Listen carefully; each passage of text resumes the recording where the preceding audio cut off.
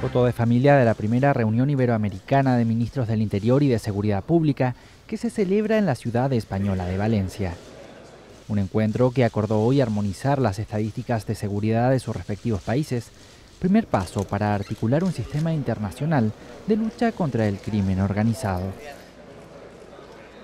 Será uno de los puntos de la llamada Declaración de Valencia, que incluirá los acuerdos adoptados por los representantes de los 21 países que participan en este encuentro.